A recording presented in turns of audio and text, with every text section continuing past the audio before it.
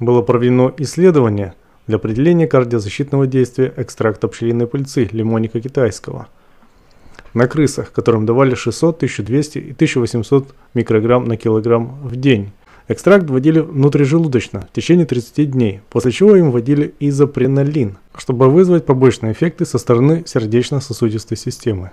На 29 и 30 дни подкожно вводили изопренолин 65 мг на килограмм в сутки. Средние и большие дозы пчелиной пыльцы лимонника китайского снижали уровень аспартат аминотрансферазы, лактат дегидрогеназа в сыворотке крови. Согласно гистопатологическим изображениям сердец крыс в группах, получавших пчелиную пыльцу лимонника китайского, было меньше повреждений сердца, чем в экспериментальной группе.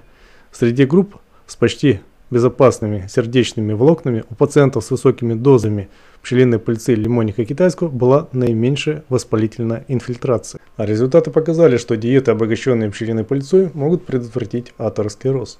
Атеросклероз представляет собой процесс воспаления и окисления в артериях, обусловленный высоким уровнем липидов сыворотки, окислительным стрессом и свертыванием крови с нарушением равновесия ренин-ангиотензин-альдостероновой системы. В эксперименте 54 самки мышей с высоким уровнем холестерина в течение 16 недель получали диету, обогащенную спиртовым экстрактом пчелиной пыльцы в дозе 0,1 грамм на килограмм массы тела – Наблюдалось значительное снижение уровней общего холестерина, асимметричного диметиларгинина, окисленных липопротеинов низкой плотности, уменьшение ангиотензин превращающего фермента и ангиотензина П. Таким образом, потребление пчелиной пыльцы будет уменьшать или предотвращать образование атеросклероза.